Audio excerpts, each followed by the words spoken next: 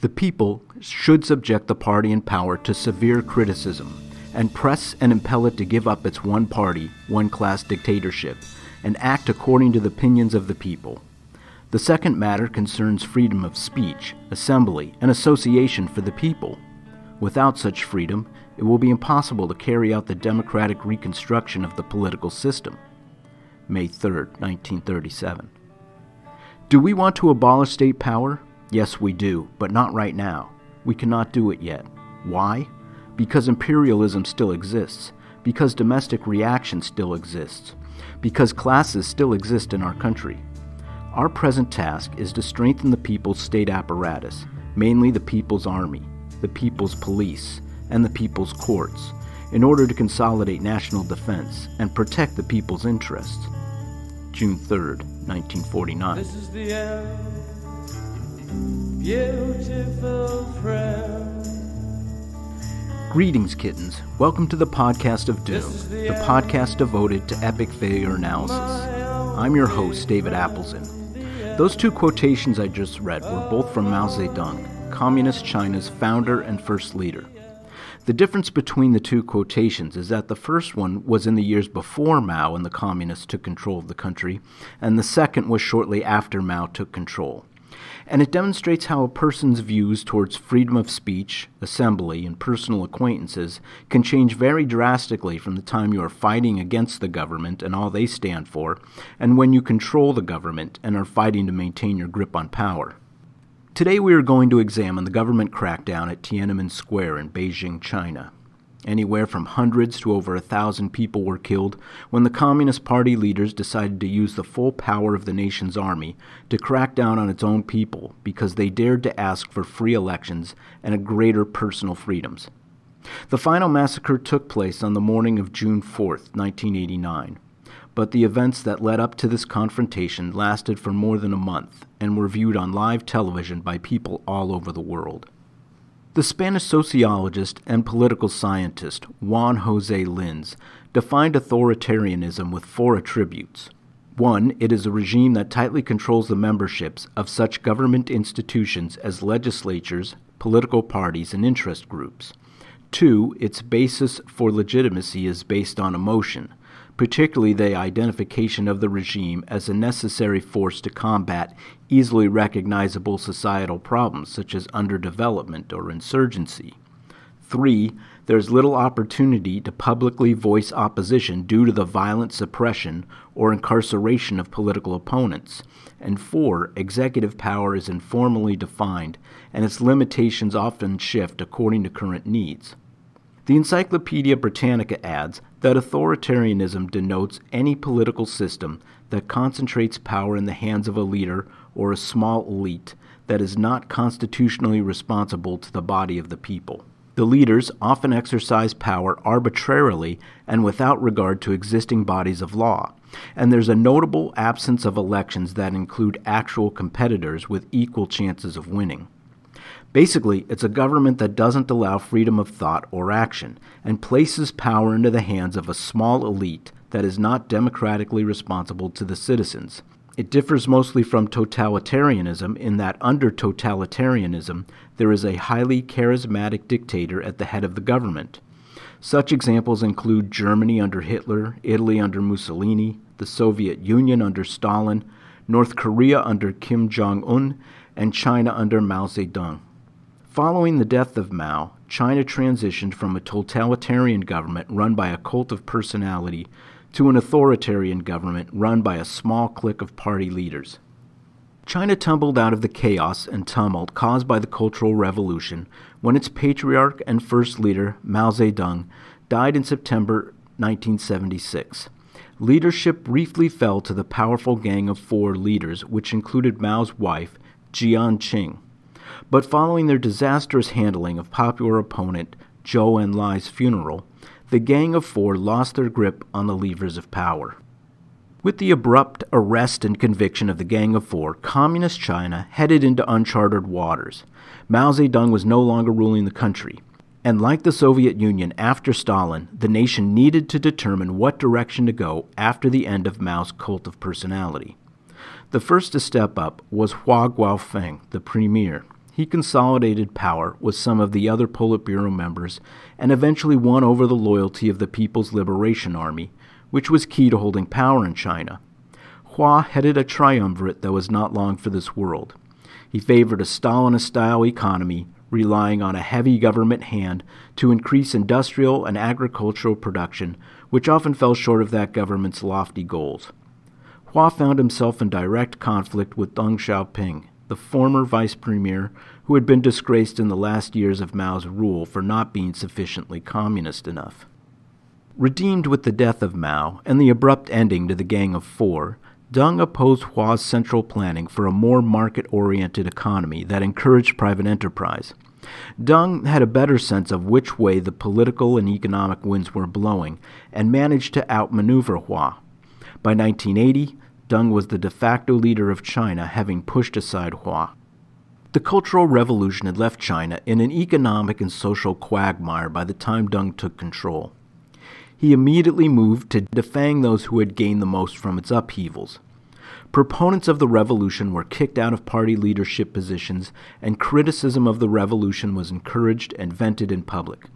At the same time, Deng moved forward with his market reforms. Rural farms were returned to individual ownership, and state owned enterprises were allowed to retain profits.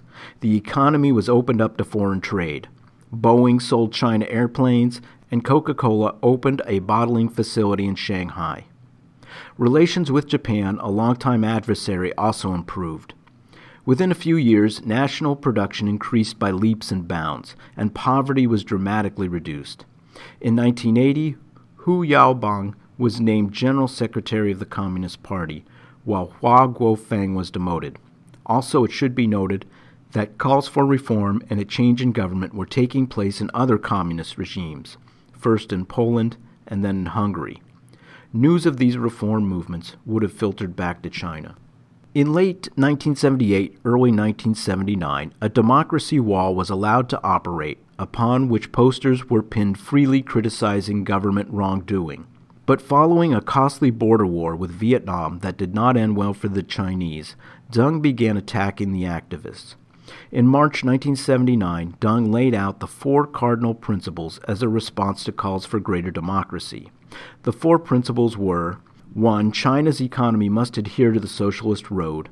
2. The people's democratic dictatorship is China's form of government, meaning all decisions are made at the party leadership level. 3 the Communist Party's leadership is unchallengeable, just in case you had some frisky ideas about what a people's democratic dictatorship really meant. And four, Marxist Leninist Mao Zedong thought is the official ideology, although its true meaning is widely open to interpretation. This bipolar approach to governing, full speed ahead on economic reforms while cracking down on individual free thought, liberties, and actual democratic style representation, led to a number of problems. The economic reforms were generally well received by the public, but some problems were becoming readily apparent. The new openness was leading to corruption and nepotism in the system. It seemed that if you wanted to get ahead in this new China, you needed either a friend or a relative in the government. That was the key to landing business licenses, crucial supplies, and most importantly, government approval. Many of the new business leaders came from the old party leadership or their close family. Those without these important connections soon found themselves on the outside looking in on the new prosperity. The reforms created a two tiered system in regards to pricing. In some instances, the long held tradition of the government maintaining low prices was kept in place, while in other instances the market was allowed to run free. Thus, a clever, well connected person had the opportunity to buy commodities low and sell them high, while most consumers were left paying lofty prices for commodities they once bought cheap. That led to rising inflation. In 1988, the government tightened the money supply and it suddenly became difficult to get a loan, which is a problem in any economy. That year, the government agreed to move the entire economy to market based pricing, so no more government controls. That triggered a wave of cash withdrawals, with buying and hoarding of currency.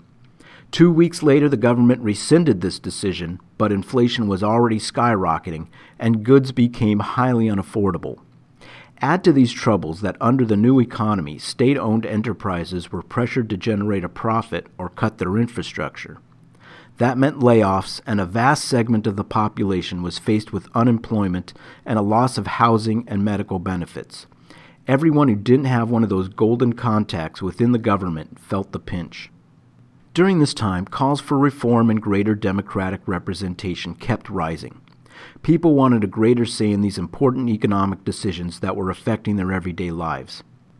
Among the nation's many universities, students were realizing they were not getting the education they needed for this new, open economy. And they were hearing from other students who had been studying abroad in countries where they were exposed to successful Western style democracies. The government had been channeling the students into the social sciences and humanities, while the new economy needed specialists in agriculture, light industry, services, and most importantly, people who knew how to attract foreign investment. And private firms were no longer required to hire graduates who were lacking in these skills. The students could see the writing on the wall.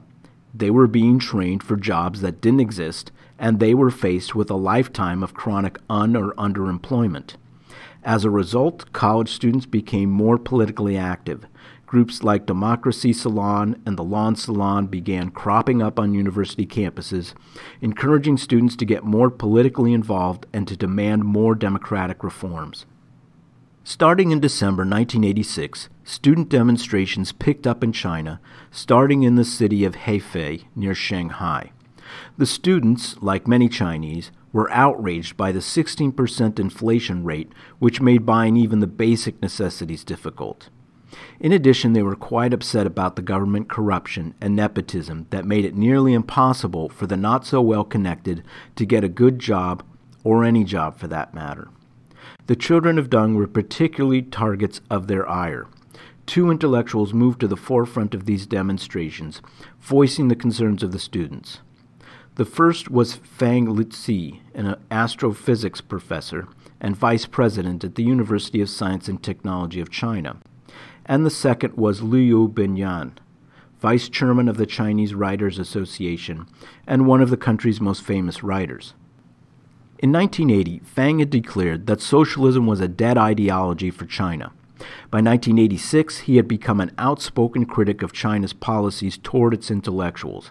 He advocated academic freedom, openness to new ideas from abroad, and intellectual resistance to party control. In a speech at Tongji University, he stressed that human rights were a critical component of any democratic agenda and that human rights should not be dependent on state or national government largesse.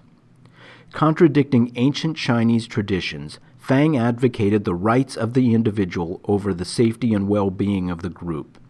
He also stated that the rights in the Chinese constitution should be actual rights and not just on paper rights. He mocked the government's position that Chinese civilization was inherently superior to all others. Chinese intellectual life, material civilization, and moral fiber are in dire straits, he said. The truth is, every aspect of the Chinese world needs to be modernized. I think all around openness is the only way to modernize. I believe in such a thorough and comprehensive liberalization because Chinese culture is not just backward in a particular respect, but primitive in an overall sense.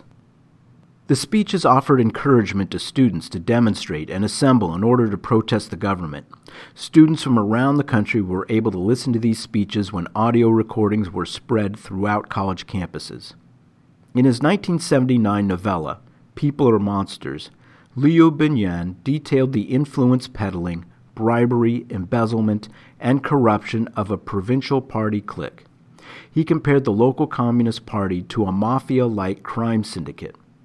The Communist Party regulates everything, but it does not regulate the Communist Party, he wrote. During the student demonstrations, he spoke out in a series of scathing indictments of party corruption and malfeasance. Liu was constantly in demand as a speaker and a writer by those seeking greater reform. Soon the demonstrations spread to campuses throughout the major cities of China. On December 19, 1986, the local authorities in Shanghai called in the police to break up the demonstration there. Students in Hefei responded by staging a sit in. Fang Lizhi worked as a mediator between the students and the government. He was able to end the sit in on condition that the students' demands were forwarded to the Shanghai local government. The number of demonstrators was limited, and the various student groups could not agree on their priorities. By mid January 1987, all of the students had returned to their classes. Although it appeared that any real threat of change to the way the Chinese government was running their country had been quietly snuffed out, that is not how the party leaders treated it. The Central Party leadership was alarmed by the actions of the students and the intellectuals supporting and driving their cause. Somebody within the party needed to take the blame for the student demonstrations and for not cracking down on them sooner. That somebody was Hu Yaobang, the general secretary who had been one of Deng's closest allies when Deng came to power. He had now become the favorite scapegoat of the party hardliners. Hu was blamed for mishandling the student demonstrations and undermining the social stability of the country.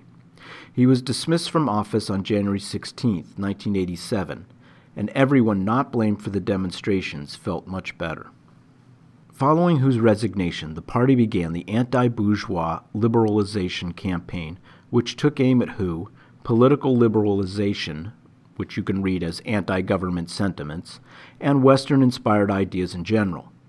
The campaign cracked down on those who had protested and tightened the political environment. But in spite of the party's efforts, Hu remained popular among progressives within the party, intellectuals, and students. For the next two years, the reform effort continued mostly through the work of the intellectuals, and the government kept close tabs on it to make certain no public displays of support for reform took place. On April 15, 1989, Hu Yaobang died suddenly from a heart attack at the age of 73. It was one of those events in Chinese history where a natural death had far greater repercussions than one might have at first expected. During his two years out of office, Hu's reputation as an advocate of reform had been greatly enhanced, although he had taken little action to support the cause of reform during that time. Students across the nation were profoundly moved by the death of the former party leader. They believed he represented their reformist ideas of openness and democracy. Posters began cropping up on campuses eulogizing Hu and calling for a revival of his legacy. But soon the nature of the posters moved away from the topic of Hu and on to broader political issues such as freedom of the press, greater representation, and calls to end corruption. Crowds of students gathered around the Monument of Heroes at Tiananmen Square, the enormous central plaza in Beijing where the seat of government was located. The monument was a 10 story high obelisk built shortly after the communists took control and dedicated to those who had given their lives during the 19th and 20th century to the cause of revolutionary struggle. The students now congregating at its base felt that this mantle of honorable struggle had rightfully passed to them. Other students were erecting shrines on their campuses, but were soon marching to Tiananmen and joining up with the students already gathered there. As the crowds grew bigger, the police were eventually called in to make certain order was maintained. The next day, the Central Committee, or the main leaders of the Communist Party, decided to allow Hu's remains to lie in state in the Great Hall of the People so that citizens could pay their respects. A state run memorial would take place on April 22nd. It was an unusual move for a party leader forced out of office. That evening, 500 students reached the Great Hall of the People to mourn Hu, but also to publicly discuss social problems. That gathering was quickly broken up by the local police. On April 17th, students from the China University of Political Science and Law made a large wreath to commemorate Hu. Its Lane party drew a larger than expected crowd. 3,000 students from Beijing University walked 12 miles to join the other students in the square, while another 1,000 students arrived from Tsinghua University. This coming together of students led to discussions and the sharing of ideas they delivered a petition to the Standing Committee of the People's Congress and called it the Seven Demands. Here they are 1. Affirm as correct Hu Yaobang's views on democracy and freedom. 2. Admit that the campaigns against spiritual pollution and bourgeois liberalization had been wrong. 3. Publish information on the income of state leaders and their family members. 4 end the ban on privately run newspapers, and stop press censorship. 5. increase funding for education and raise intellectuals' pay.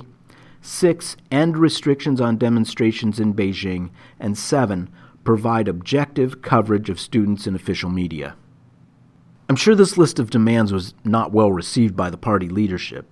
Citizens were not supposed to make demands of their leaders. This was, after all, a representative government. On the morning of April 18th, there was still a significant number of students in the square. They remained gathered around the monument to the people's heroes, singing patriotic songs, giving speeches demanding reforms, and continuing their discussion about how to bring about the change they sought. At first, their numbers were small, but soon they were joined by other students marching from other universities, such as the People's University and the Beijing Academy. By the afternoon, more than 30,000 people had gathered in the square.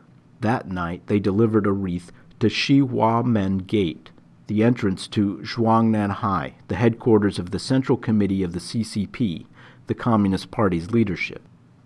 They were met by a human wall of armed police, by now, there were more than 10,000 people crowded at Xinhuamen Gate, and they were clashing with the police. Eventually, the police gained control of the situation, and by 5 a.m. the next morning, the square was cleared. But later that day, on April 19th, more students returned to Tiananmen Square. They were carrying huge portraits of Hu Yaobang and hanging posters praising his work and the issues he fought for. By 8 o'clock that evening, the crowd had grown to 100,000 people, and citizens had joined the students. A petition, including the seven demands, was personally presented to some deputies of the National People's Congress. Many in the crowd took up singing the Internationale, the anthem for world communists that originated in the communes of Paris in the 19th century. Meanwhile, a crowd of 3,000 protesters had gathered at Fudan University in Shanghai. The protest was spreading. At 2:30 in the morning, 2,000 police arrived to break up the crowds at Xinhuamen Gate. They attacked the people there with clubs, brass belt buckles, and steel-toed shoes. The demonstrators fought back by hurling glass bottles. More than 100 students and four policemen were injured. After some arrests, order was finally restored to the square just around dawn. However, this event angered many students and citizens. The students spent most of the day of April 20th organizing, selecting their leaders, and developing the themes and demands of their movement. They sent out a letter addressed to all the universities of China. The letter read, the past failures of student movements have made us realize that we would have no power if we did not form an organization including representatives from all colleges and from all levels of society. We therefore propose that all colleges send their deputies to help organize the College Council of the Beijing Democratic Movement. The letter also called for using peaceful methods to protest in order to get the government to comply with their requests, such as sit downs, demonstrations, school boycotts, and hunger strikes. That night, 1,000 students from Nanjing University marched to the provincial capital in that city shouting, Clean up the government and down with the dictatorship. During those demonstrations, angry students threw glass bottles at the symbols of the government. The demonstrations were spreading to other campuses, and a group of factory workers calling themselves the Beijing Workers' Autonomous Federation issued two handbills challenging the central leadership. On Friday, April 21st, the first student boycott of classes began. It started at Beijing Yunhua, the University of Political Sciences and Law, and Beijing Normal University. By that afternoon, more than 100,000 students marched into Tiananmen Square. Many returned to Xinhuamen Gate, where they denounced the previous day's violent incident as an atrocity. On April 22nd, the memorial was held for Hu Yaobang. Police moved in from the surrounding suburbs overnight to maintain order inside the square. More than 200,000 students and citizens arrived for the memorial. When a band initiated the memorial by playing the national anthem, it was said that all in attendance joined in singing along. The funeral that took place inside the Great Hall was broadcast live to the students. General Secretary Zhao Ziyang delivered the eulogy. To many observers, the funeral seemed rushed, only lasting 40 minutes. Emotions ran high in the square. Students wept. The memorial proceeded without event and ended by noon. After the cordons came down, the students continued their demonstration by asking for a dialogue with Premier Li Peng. As the motorcade carrying Hu's remains proceeded through the city of Beijing, more than one million people lined the route to pay their respects. Back in the square, three students kneeled at the Great Hall, holding above them a petition that they asked Li Peng to accept. However, Li Peng refused to meet with them. The students left the steps, warning the government that if they continued to refuse to meet, a general strike of workers, peasants, and intellectuals would be called. The next day, a Sunday, most of the action was found outside of Beijing. A riot broke out in the city of Xi'an. Their students or criminals, depending on whose side you listened to, clashed with police and forced their way into a government building. They set one room on fire before forcing their way into the offices of the courthouse. Cars, buses, and an oil depot were set on fire before general looting took place. Similar incidents happened in Changsha. There, they stole from and set fire to local businesses. Police arrested more than 100 people, but both sides agreed it was the actions of career criminals. In response to these riots, the students in Tiananmen Square withdrew for the day.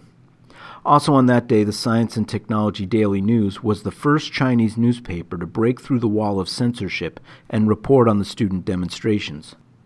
On April 25th, the government cut off telephone and telegram service at the Beijing University campus, severely restricting how students there could communicate with each other. There were rumors that the 39th Infantry of the People's Liberation Army were being moved into the city, making students feel uneasy. On some of the Beijing campuses, students were seen burning copies of news publications such as Qiushi, the People's Daily, and the Beijing Daily to protest the false reporting of the news and to demand freedom of the press. The China based Economic Herald reported that student speakers claimed that the Central Committee of the party made a mistake when it dismissed Hu in 1987. In retaliation, the Politburo ordered that 300,000 copies of the paper be confiscated and the report removed. In response, the Herald republished that day's paper with a large blank area where the article would have appeared. Student leaders also met that day and agreed on an organized nationwide student strike to occur on May 4th. On the morning of April 26th, President Yuan Shiqian and Premier Li Peng met with Deng Xiaoping. Encouraged by Li Peng, Deng endorsed a hardline stance and said an appropriate warning must be disseminated via mass media to curb further demonstrations.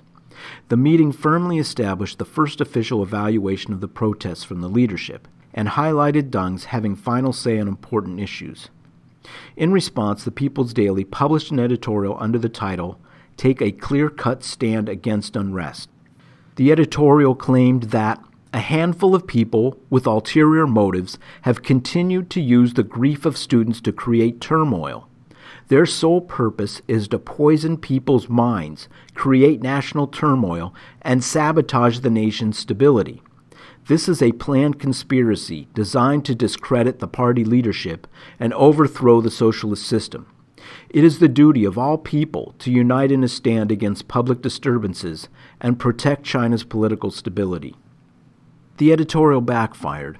Instead of scaring students into submission, it completely antagonized the students against the government. The polarizing nature of the editorial made it a major sticking point for the remainder of the protests. The editorial evoked memories of the Cultural Revolution, employing similar rhetoric, and bringing back memories of government heavy handedness. Later that day, the Central Committee of the CCP ordered the 38th Army into the capital from Baoding. The 38th were considered the elite guard. They were the most loyal to Deng and numbered more than 20,000 troops. Early on the morning of April 27th, more than 200,000 students marched up to 25 miles through the streets of Beijing to gather in Tiananmen Square. It is said that more than a million citizens, including factory workers, lined the streets, encouraging them as they marched. The students broke through a police cordon that consisted of 18 rows of policemen and women interlocking their arms. Although the police put up a good resistance, the mass of students was just too much to hold back. As the students broke through, they shouted, The people's police have the love of the people. They countered the editorial with posters stating, Peaceful petition is not turmoil, and long live democracy and freedom of the press. Some posters called for the overthrow of the government. That afternoon, an announcement was made by State Council spokesman Yuan Mu, representing the government. We welcome the students into direct dialogues with us. We can conduct these dialogues also as it is done in a proper atmosphere. The students must return to their classes. They must state their opinions through the proper channels and adopt a calm and reasonable attitude. Finally, we will accept demands only from the recognized student leadership of the Federated of Beijing Student Unions, and we will hold discussions only with those leaders. The statement was issued in response to the return of Zhao Ziyang, the moderate leader who had been away on business in North Korea. Deng favored his conciliatory approach over the more aggressive tactics of Li Peng. Zhao opened up a dialogue with the students, gave speeches praising the actions of the students, and lifted some of the press censorship. Many of the students were satisfied by Zhao's gestures, and the numbers attending the demonstrations in Tiananmen Square began to drop. On May 4th, the day of the planned boycott, most of the students had already returned to their campuses. But students in other cities did mark May 4th, the 70th anniversary of the public demonstration that kickstarted modern Chinese nationalism, to protest the injustices they perceived. Students took to the streets in Nanjing, Zhejiang, Guangzhou, Changsha, and Xi'an. For the next few days, student participation in demonstrations continued to decline. On May 7th, Li Peng shut down the offices of the Economic Herald in retaliation for its decision to publish editorials critical of the government. On May 13th, 2,000 Beijing University students marched to Tiananmen Square where they began a hunger strike, demanding a dialogue with the party leadership and also to draw the attention of Mikhail Gorbachev. In anticipation of his visit to China on May 15th, the students sent the Soviet leader an invitation to meet with them. Gorbachev, by this time, had already initiated Glasnost, the opening of Soviet society, and the students were hoping to gain a sympathetic ear from the world's other major communist nation. At this time, the students announced a fasting declaration and took an oath to stay with it until the government agreed to meet with them as equals. The hunger strikers wore coats that read, Without democracy, we would rather die. That afternoon, more than 300,000 people flocked to Tiananmen Square to show their support for the hunger strikers. However, the government was also coordinating its efforts that day. Yan Mingfu, head of the party's United Front, called an emergency meeting, gathering prominent student leaders and intellectuals, including Liu Xiaobo, Chen Ziming, and Wang Juntao. Yan told them the government was preparing to hold immediate dialogue with the student representatives, but that the Tiananmen welcoming ceremony for Gorbachev would be canceled whether the students withdrew or not. In effect, removing the bargaining power the students thought they possessed. Yan's announcement sent the student leadership into disarray. After 50 hours of fasting, 130 of the 2,000 hunger strikers collapsed from exhaustion and were taken to a hospital. A police cordon was placed around Tiananmen Square, but no action had taken place between the police and the students. The dialogue continued between student leader Li Taiying and the government's representative Yan Mingfu. Yan told Li that the dignity of the country had been hurt by the students' actions. He pleaded for them to leave the square. May 16th marked the fourth day of the hunger strike. There were now 3,000 students participating. 600 of them were hospitalized due to exhaustion, disease, and hypoglycemia, or low blood sugar. 60 of the students who had been hospitalized the day before returned to the square to continue their fast. Teachers, high school students, and factory workers showed their support by marching to the square. The welcoming ceremony for Gorbachev was moved from Tiananmen Square to Beijing Airport in reaction to the demonstrations. That evening, Yan Mingfu appeared in the square alone to talk to the students. He expressed sympathy towards the students and let the student leaders know that he passed their demands on to the party leadership. Yan volunteered to offer himself as a hostage to the students, but the student leaders declined his offer. That night, the Chinese leaders met with Gorbachev. Zhao Ziyang talked to Gorbachev and told him that Deng was recognized as the nation's leader. It's the first time that Deng's status as the national leader was made clear by a top party member, but it could also be construed as Zhao shifting the blame to Deng. Li Peng told Gorbachev that capitalist nations do not hold a monopoly on democracy, and that reform will come soon to China. Many of the party leaders were ashamed that Gorbachev had to see the student demonstrations, and those party leaders took more of a hardline stance. After the Gorbachev meeting, Yan Mingfu told Li Peng the students remained patriotic, and he asked Li if the April 26th editorial could be retracted. Li refused the request. By May 17th, more than 2,000 hunger strikers were taken to local hospitals. At least a half dozen were critically ill and in danger of dying. With hot days and cold nights, the weather was quickly sapping the health of the fasting students. The Chinese Red Cross responded by sending in more medical personnel. That day, China witnessed its largest public demonstration since the founding of the Communist Republic. Two million people from all segments of society took to the streets to show their support for the students on hunger strike. They carried posters mocking Deng Xiaoping as senile and decrepit. Li Peng was also mocked. In an act showcasing how broad the protest movement was, a thousand officers from the People's Liberation Army joined the demonstrators, as well as police officers and lower party officials. On that day, protests took place at more than 400 cities across China. Also, that day, a group of intellectuals released the May 17th Declaration. They blamed the hunger strike on the party leadership's indifference to the students' just requests. There is still an emperor in China, only without a title, read the declaration. Chinese students living in the United States published a letter of public support to their fellow students in China, and they begged Li Ping and Zhao Ziyang to open a dialogue with the students in Tiananmen Square. That evening, a PSC meeting was called at Deng's residence. At that meeting, Zhao Ziyang's concessions based strategy, which called for the retraction of the April 26th editorial, was thoroughly criticized by the party hardliners. Li Peng and Deng asserted that by making a conciliatory speech on May 4th, Zhao exposed divisions within the top leadership and emboldened the students. Deng warned the party leadership that if Beijing was not pacified quickly, the country risked civil war and another cultural revolution. Deng then argued that martial law was needed as a show of the government's no tolerance stance. Deng said that in order to justify martial law to the citizens, the party leaders would need to portray the demonstrators as tools of bourgeois liberalism, advocates who were pulling the strings behind the scenes. Further, they were being used as tools by elements within the party who wished to advance their personal ambitions. Early on the morning of May 18th, the top members of the Central Committee, including Zhao Ziyang and Li Peng, paid a visit to the Beijing hospital where some of the hunger strikers were being treated. The hospitalized students insisted they had no intention of overthrowing the government, but they urged the party to clean up the corruption and carry out political reform.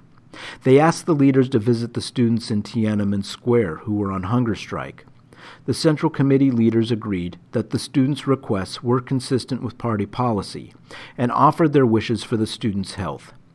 Later that day, Li Peng and Yan Mingfu met with about a dozen student representatives, including Wu'erkaixi and Wang Dan. Their meeting was carried on live television.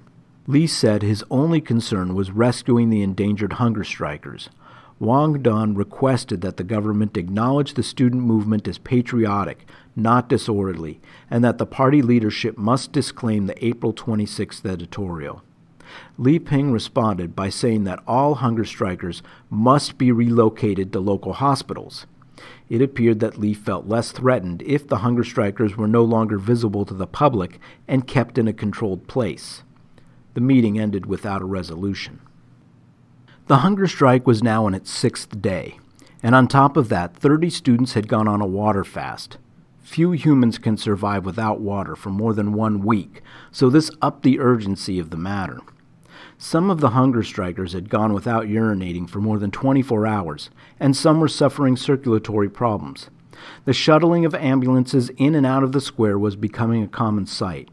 In addition to that problem was the added difficulty of so many workers walking off their jobs to support the students that it left Beijing half paralyzed. Some of them carried banners saying, "We are not afraid to be fired."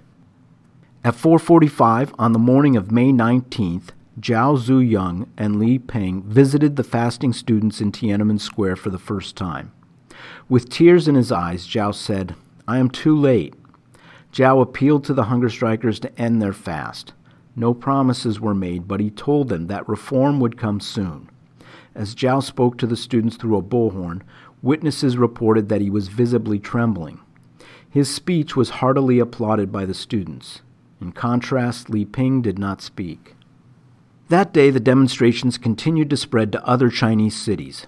Shanghai alone saw more than 1 million people out on the streets in support of the hunger strike. Later that day, the Politburo Standing Committee met with military leaders and party elders.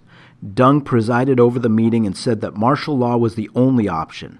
At the meeting, Deng declared that he was mistaken in choosing Hu Yaobang and Zhao Ziyang as his successors, and resolved to remove Zhao from his position as general secretary.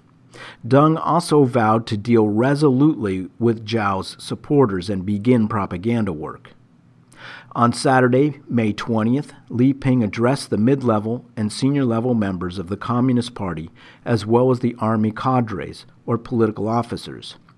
Zhao Ziyang was conspicuously absent from this vital meeting.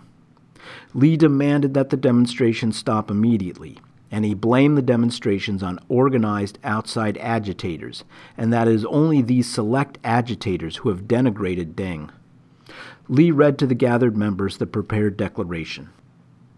In view of the serious turmoil that has taken place in Beijing, which has greatly disturbed social order, security, and the people's normal life, and in order to extinguish the turmoil, to maintain the city's peace, to ensure the safety of the citizens and their properties, to protect public properties, and to guarantee that the daily routine of the central and municipal governments is not disturbed, the State Council hereby announces that in accordance with the 16th regulation under item 89 of the Constitution, martial law will be carried out in certain parts of Beijing beginning at 10 o'clock Beijing time on the 20th day of May, 1989.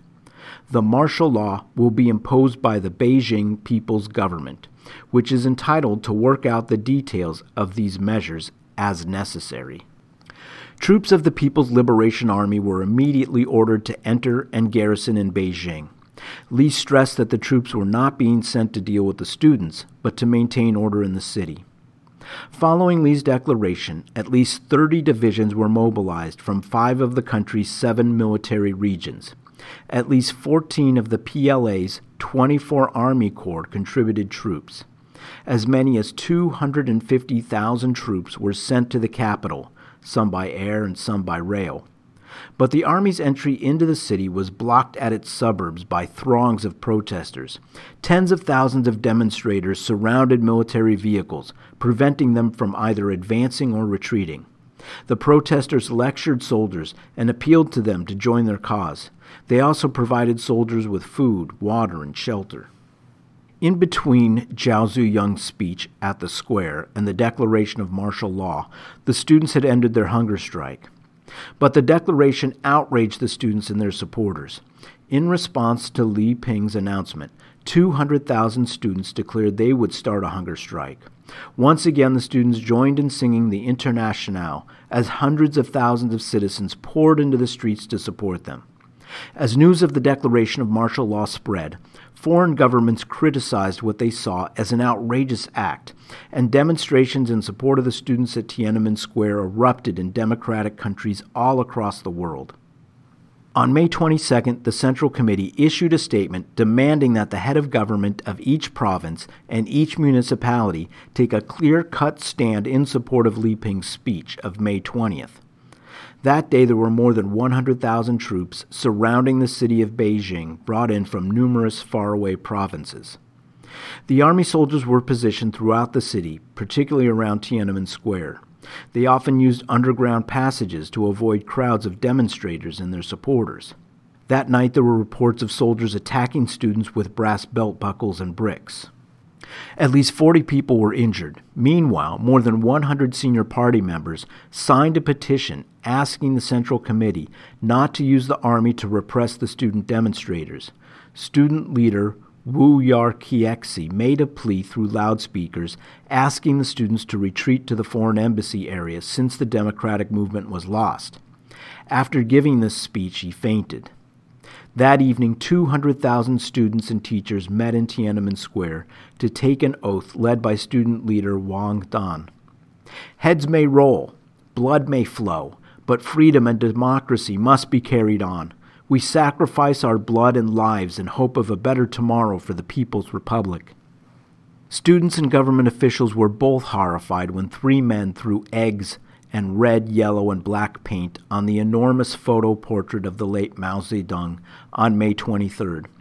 Even among the protesters, the image of Chairman Mao still received reverential treatment as a great leader and the founder of modern communist China. The three men were captured by students and turned over to the police.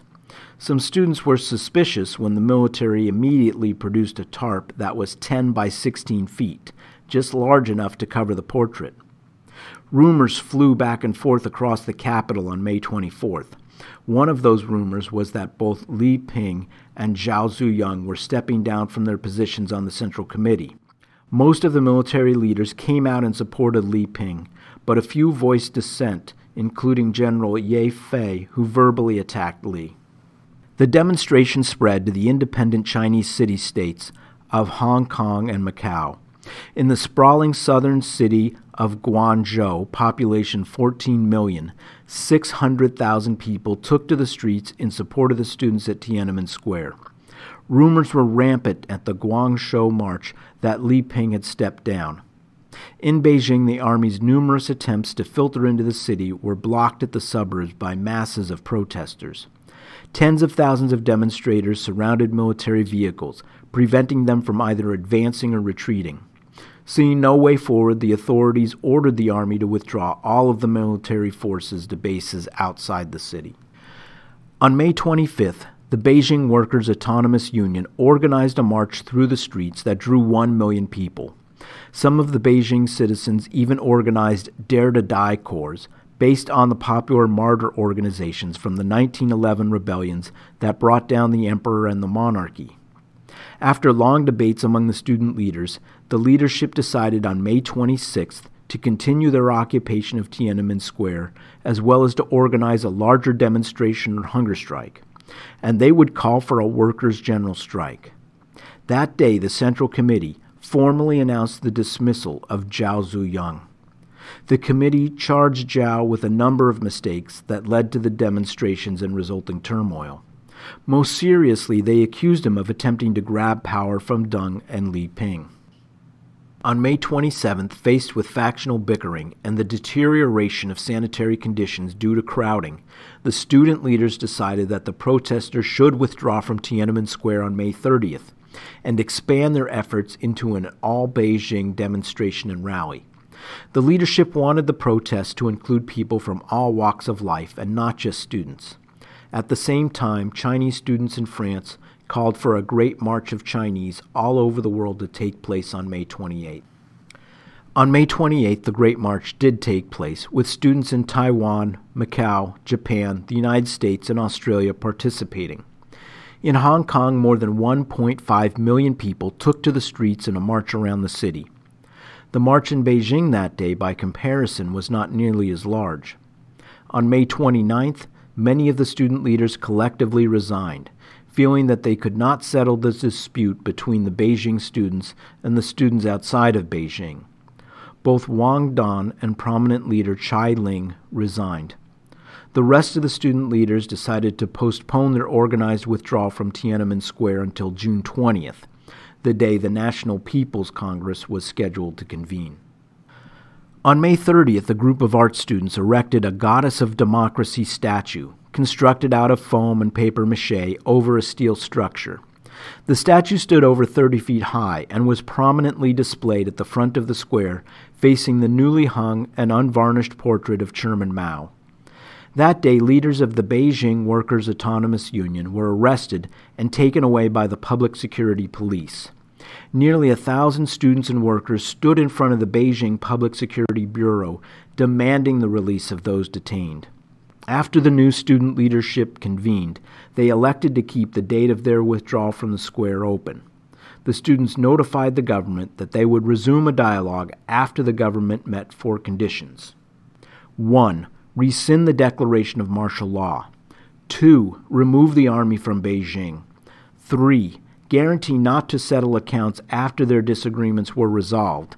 And 4. To fulfill freedom of the press as guaranteed in the Constitution. On May 31st, the People's Daily published a statement from the Tiananmen Square Management Office accusing the students of placing the figure of the goddess of democracy in the square illegally. At 10 o'clock that morning, a man climbed up the framework of the figure and tried to push it over. The man was taken away by the students and detained at the students' headquarters, but they released him that day. Later that morning, a group of more than 10 military motorcycles followed by military jeeps, patrolled Beijing streets. Some foreign journalists guessed that the show of force was a warning by the government that it was about to lose its patience. That afternoon, thousands of party cadres, students, and peasants marched in a counter demonstration in the suburbs of Beijing. They shouted pro government slogans and blamed the student and the worker strikes on troublemakers. After the strike, witnesses reported that they were served ice cream by the government. That evening, several thousand students and workers demonstrated in front of the Beijing Public Security Bureau, demanding the release of the workers taken into custody the day before. The police warned them to obey the martial law order at once and to leave immediately. The demonstrators were unaware that the workers had been released earlier that day. That night, thousands demonstrated next to Xinhuamen Gate. The police took no action, but government officials pushed away foreign reporters and television cameras. On June 1st, there was a kidnapping attempt on former student leader Chai Ling and her husband Feng Congde. The kidnapping effort failed and the kidnappers ran away. Chai Ling recognized the kidnappers as fellow student demonstrators who may have been bribed by the government. Chai Ling vowed to fight on, despite the attempts against her. That afternoon, many of the large hotels in Beijing hung streamers that stated their support for the government. June 1st is Children's Day in China, and many parents took their children to Tiananmen Square. During this lull in the demonstrations, the students worked hard at cleaning the garbage that was collecting in the square due to their occupation. They also replaced old filthy tents with new clean tents. That evening, rumors of Deng Xiaoping's illness were denied by Foreign Ministry spokesman Li Jinhua. In a further clampdown on information about events in the square, a spokesman for the municipal government of Beijing issued a list of seven warnings to the foreign press. 1. During martial law, all foreign journalists must receive a permit from the government to cover news in Beijing. Two, foreign journalists are banned from the interviewing, photographing, or videotaping activities prohibited under the order of martial law. Three, pictures of government troops or police are prohibited without government permission. Four, it is illegal for foreign journalists to obtain materials that may incite people and that are banned under the martial law. Five, the municipal authorities may override any laws in place prior to the imposition of martial law. 6. Violators will be prosecuted to the degree of seriousness of their crime by the appropriate authorities. And 7. The municipal government reserves the right to interpret the orders issued by their office. As June 1st turned to June 2nd, there were more than 200,000 soldiers stationed around the city of Beijing. The army was in control of all of the major media television stations, radio stations, newspapers, telegraph offices, and post offices. In the early morning hours, more than 10,000 troops broke into Tiananmen Square, but they were quickly surrounded by hundreds of thousands of students and citizens. Chaos reigned in the streets until the troops retreated around 3 a.m. Around the same time, a speeding police car with no plates ran up onto the sidewalk and hit four people, killing two of them on the spot. The police car continued on, telling witnesses, Get out of our way, we're in a hurry. The incident outraged many citizens who had taken no position until that time. Many joined the protesters and placed obstacles in the streets to block more soldiers from entering the square. Later that day, Li Ping issued a report titled On the True Nature of the Turmoil, which was circulated to every member of the Politburo. The report aimed to persuade the Politburo of the necessity and legality of clearing Tiananmen Square by referring to the protesters as terrorists and counter revolutionaries. The report stated that the turmoil was continuing to grow, the students had no plans to leave, and they were gaining popular support, all of which was probably true after the incident with the police car. Following more pro government demonstrations in the suburbs, a participant revealed that those who attended the pro government rallies received 10 Chinese dollars and two days of paid leave. In response, thousands of students launched a mock pro government rally shouting, Support the dictatorship and despotism! And the demonstrations have government sanction. Join the demonstration and get $10. Just tell them you support Li Ping. Also on that day, Deng Xiaoping and several party leaders met with the three remaining Politburo Standing Committee members Li Ping, Qiao Shi, and Yao Yilin. The three members agreed with Deng's decision to clear the square so that the riot can be halted and order restored to the capital. They also agreed that the square needed to be cleared as peacefully as possible. But if the protesters did not cooperate, the troops were authorized to use force to complete the job. That day, state run newspapers reported that troops were positioned in 10 key areas in the city. Units of the 27th, 65th, and the 24th Armies were secretly moved into the Great Hall of the People on the west side of the square, and the Ministry of Public Security compound east of the square. That night, there were reports that an Army trench digging vehicle ran into four civilians, killing three, and sparking fear that the Army and the police were trying to advance into Tiananmen Square. The student leaders issued emergency orders to set up roadblocks at major intersections to prevent the entry of troops into the center of the city. In the early hours of June 3rd, the Xinhua news agency broadcast the full text of the mobilization order for action, an 8,000 character document written by the propaganda ministry justifying the need for violent, overwhelming force to put an end to the turmoil in Tiananmen Square. In the early morning hours, soldiers forced their way into the city, provoking incidents with citizens and students who attempted to stop them. Four tourist shuttle buses used to transport supplies and weapons for the Army were captured outside the city by civilians. Inside the buses, the civilians found machine guns, rifles, grenades, and gas masks. The weapons were put on display at Xinhuamen Gate and attracted the attention of more than 10,000 people. Later that day, plainclothes military personnel were discovered with city maps that were being used to plan their attack. Around noon that day, military personnel and armed policemen came flooding out of the west gate of Zhongnanhai, the headquarters for the Chinese Communist Party. This force closed off the main arteries near the square, separating the protest groups. The police broadcast warnings to the demonstrators while throwing tear gas canisters and waving electric batons. Shortly after, two to three hundred soldiers dashed out from behind the Xinhuamen gate and struck randomly at the protesters with wooden poles and electric batons. On the other side of the square, soldiers shot rubber bullets into the crowds of people. At 2 a.m., 10,000 soldiers charged out of the People's Hall and attempted to block a busy intersection at Jianmen Road. However, the students and civilians put a stop to these efforts by blocking their way with two large public buses. Around 100,000 people gathered at the intersection and chased off the troops by pelting them with rocks. The angry crowd moved on to Chang'an Avenue, where they turned over an army jeep and broke the windows on two tourist buses delivering more weapons. At 4:30 p.m., the three Politburo Standing Committee members met with Beijing Party Secretary Li Ximing, Mayor Chen Xitong, State Council Secretariat Luo Gan, and the military leaders.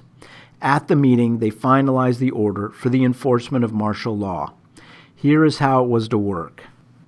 First, the operation to quell the counter revolutionary riot was to begin at 9 o'clock p.m. Second, military units would converge on the square by 1 o'clock a.m. on June 4th, and the square had to be cleared by 6 a.m. Third, no delays would be tolerated. Fourth, no persons were allowed to impede the advance of the troops enforcing martial law. The troops were allowed to act in self defense and use any means necessary to clear impediments. Fifth, this warning will be broadcast to the citizens through the state media.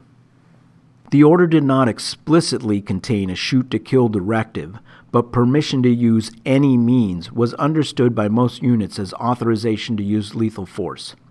That evening, the leaders monitored the operation from the Great Hall of the People. Beginning at 6 p.m., the radio and TV stations issued three emergency orders signaling the forthcoming violent suppression. At 6:30, the army units within the city received the order. It warned everybody in the area to obey the martial law. Should anyone ignore this advice and challenge authority, the army, police, and armed police have the power to use whatever means necessary to force him to obey the order. At 8:30 p.m., an order was broadcast warning that the army can tolerate no more and will adopt all possible measures to remove obstacles. At the time of the order, there were still several hundred thousand people in Tiananmen Square. At 10 p.m., the third order was issued.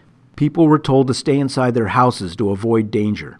The People's Liberation Army units advanced on Beijing from every direction the 38th, 63rd, and 28th Armies from the west, the 15th Airborne Corps, 20th, 26th, and 54th Armies from the south, the 39th Army and the 1st Armored Division from the east, and the 40th and 64th Armies from the north.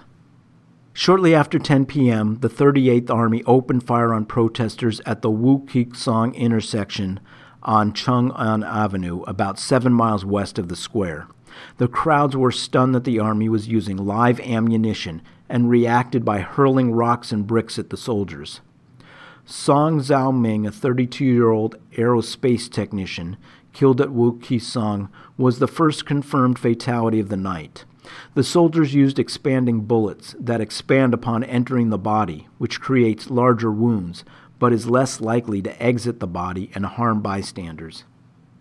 At 10:30 p.m., the army was briefly halted at Muxidi, 3 miles west of the square by trolley buses that were moved across the bridge and set on fire by the crowds of people that were now gathering in the area. The 38th Army opened fire on the crowds, inflicting heavy casualties, with one report stating that as many as 36 people were killed at Muxidi. There were also reports of soldiers raking the high rise apartment buildings there, where high ranking government officials and foreigners lived, with machine gun fire, killing people inside the building. Using armored personnel carriers, the 38th Army rammed through the buses, blocking the bridge. To the south, paratroopers of the 15th Airborne Corps also used live ammunition, causing civilian deaths in four different Beijing districts. One armored car on Chang'an Avenue was stopped and held up by civilians. They rushed the car into the middle of the boulevard to block the passage of more armored cars. However, the next armored car plowed into the stopped car, throwing all the soldiers inside to the ground, killing one of them. The military directive was now so extreme that the army was willing to sacrifice the lives of its own soldiers. The killings infuriated city residents, some of whom attacked soldiers with sticks, rocks, and Molotov cocktails, setting fire to the military vehicles. Back in Tiananmen Square, Army helicopters could be seen. The students in the square put out a call to all local schools asking for reinforcements. By 10:30 p.m., news of the bloodshed to the west and south of the city began trickling into the square, often told by witnesses drenched in blood. At 12:15 a.m. on June 5th, a flare lit up the sky over the square, signaling to all armed forces it was time to move in on the occupiers. At that time, it was estimated that there were 70 to 80,000 demonstrators still in the square. Armed personnel carriers moved in from the south and the west. The students threw bricks and chunks of cement at the military vehicles. One stalled when a metal bar was thrown between the treads. The students immediately surrounded it and threw gasoline soaked blankets on top of the vehicles. The blankets were lit, and the soldiers inside were forced out due to the heat. Although the APC had been seen earlier running over occupied tents, a group of students hustled the occupants out to safety. There were many calls by students to retaliate violently against the government actions, but for the most part they remained peaceful. At 1:30 a.m., the vanguard of the 38th Army and paratroopers from the 15th Airborne Corps, representing Deng's most loyal and best trained units, closed in from the north and south ends of the square. They sealed off the square from any incoming demonstrators and shot anyone who attempted to enter. At that point, the 24th, 27th, and 65th Armies began pouring out of government buildings into the square. By 2 a.m., the students at the Monument to the People's Heroes found themselves completely surrounded. Warning shots were fired over their heads as the students pleaded with the soldiers to comply with the will of the people and put away their weapons. At 2:30, several workers appeared with a confiscated machine gun that they intended to use against the soldiers, but the students convinced them to surrender their weapon. At 3:30 a.m., two Red Cross doctors negotiated with the lead army political officer at the square for the safe evacuation of the remaining demonstrators. After receiving approval from party leaders, the officer agreed to the evacuation. At 4 a.m., the lights in the square were turned off, and a voice came over the government loudspeakers. Clearance of the square begins now. We agree with the students' request to clear the square. Unaware of the doctor's agreement, the demonstrators prepared for the worst. At 4:30, the doctors conveyed their agreement to the students. The lights were turned back on, and the soldiers advanced on the students still encircled around the monument. Many of the students were angry at the doctors for having negotiated a withdrawal. The soldiers advanced to within 30 feet of the students and lowered their weapons, ready to aim and fire. Behind the soldiers were tanks and APCs, also ready to take action if needed. Student leader Feng Congde asked for a voice vote of whether they should stay or leave. Although many witnesses say the stay vote was louder, Feng declared the go voices won out. At 4:40 a squad of soldiers in camouflage uniforms appeared and shot out the student speakers. At that point, many of the soldiers moved in, kicking and beating the demonstrators, destroying their cameras and other recording equipment. The soldiers used clubs and the butts of their guns to attack the students, most of whom had given up at that time and were trying to escape the square. At 5:10, a large group of students linked hands and proceeded to exit toward the southeast corner of the square through a cordon of army troops. Those who refused or straggled were beaten until they were bloody. Once the square was cleared, officers ordered the soldiers to relinquish their ammunition as the soldiers were given several hours to rest and the square was cleaned of debris. Chai Ling and other students who had occupied the square accused the government of burning the bodies so there would be no evidence of the number of people killed. Just past 6 a.m., as a convoy of students who had vacated the square were walking westward in the bicycle lane along Chang'an Avenue back to campus, three tanks pursued them from the square, firing tear gas.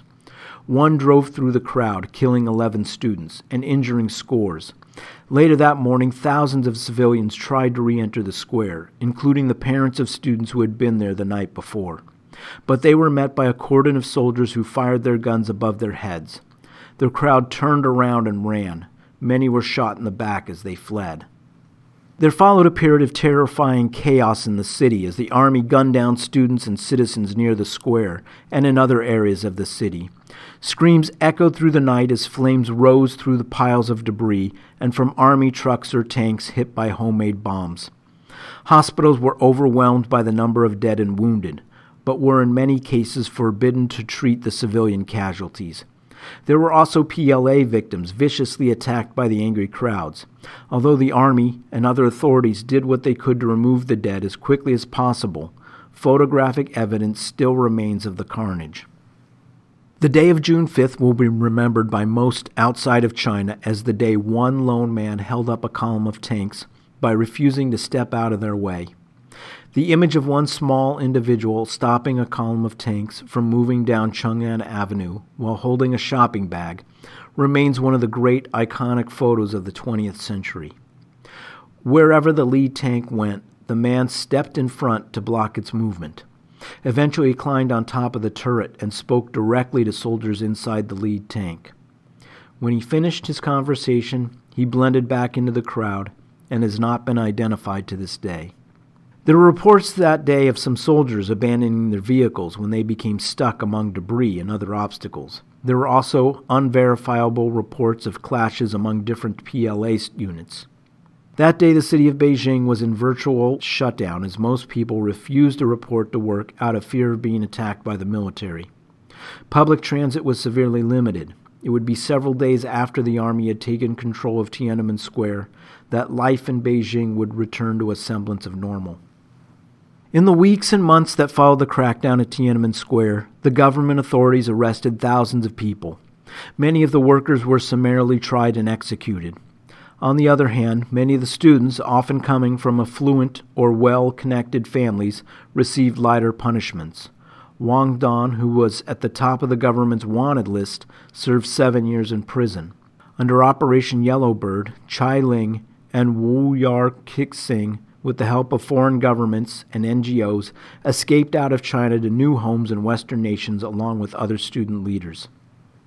Zhao Ziyang was placed under house arrest immediately after he was removed from his position of power. He remained under tight supervision and was allowed to leave his courtyard compound or receive visitors only with permission from the highest echelons of the party. The government rather successfully kept him hidden from news reports and history books. After his arrest, Deng and his successors continued to believe that Zhao and his subordinates had worked secretly to organize the nationwide protests, and worried that his death might trigger protests similar to those sparked by the death of Hu Yaobang. He died of pneumonia in 2004, still under detention. After Zhao died, Chinese leaders heavily controlled the news of his death. TV and radio stations were prohibited from broadcasting the news of his passing. The People's Liberation Army was put on special notice. Security was increased around Tiananmen Square, and all of the main Chinese newspapers were instructed to run a brief 59 word obituary that left out mention of his many accomplishments and positions of leadership. Although there is strict censorship by the Chinese government of any mention of Tiananmen Square, including any numerical referencing to the date 6 4 1989, there are still many in China who remember the event and find ways to honor those who died during the crackdown. More public remembrances are observed by the many Chinese people who live abroad, particularly in the more open Western nations. For the generation born after the massacre, the event is almost completely unknown. The authorities have worked to suppress all information about the crackdown, while the rising economy, along with enactment of many of the economic reforms the students fought for, meant that most young Chinese did not have to endure the high inflation and difficult times that plagued their parents' generation. In 1990, the Chinese government put out their response to the causes for the demonstrations in Tiananmen Square and throughout the country in a book called The Truth About the Beijing Turmoil. Here is how they defended their actions. This turmoil was not a chance occurrence. It was a political turmoil incited by a very small number of political careerists after a few years of plotting and scheming. It was aimed at subverting the Socialist People's Republic by making use of some failings in the work of the Chinese government and the temporary economic difficulties. They spread far and wide many views against the Constitution, the leadership of the Chinese Communist Party, and the people's government preparing the ground for the turmoil ideologically, organizationally, and in public opinion. The former General Secretary of the Central Committee of the Chinese Communist Party, Zhao Ziyang, supported the turmoil and thus has unshirkable responsibility for its formation and development. The various political forces and reactionary organizations abroad had a hand in the turmoil from the very beginning.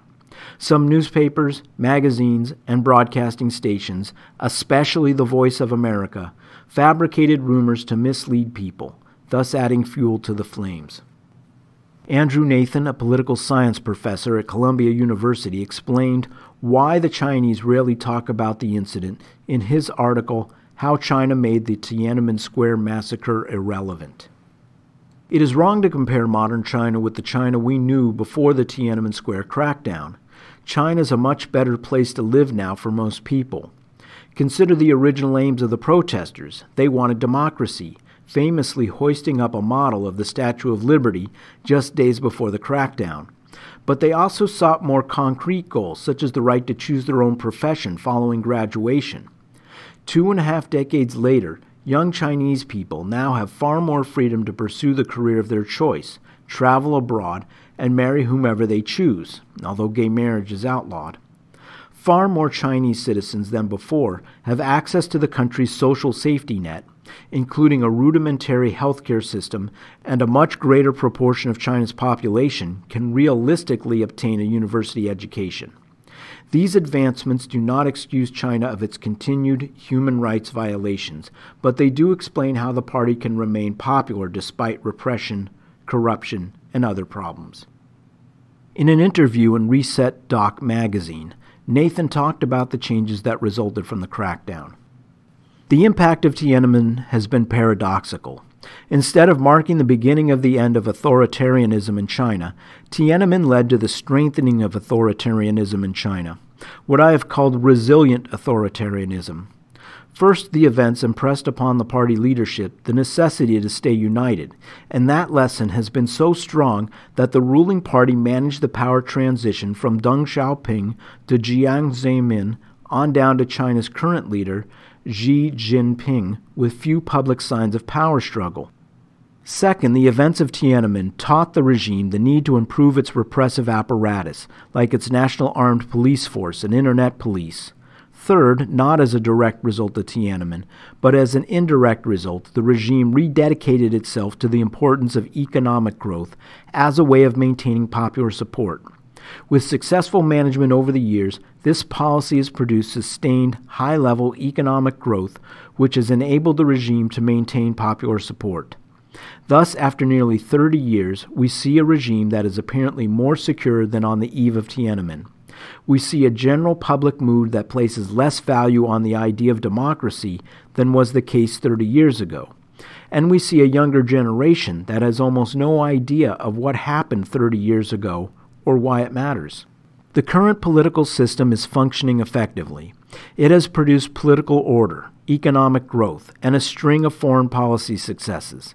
The system has been able to produce qualified new leaders. With the economy growing, most people are better off and are optimistic about their personal economic futures.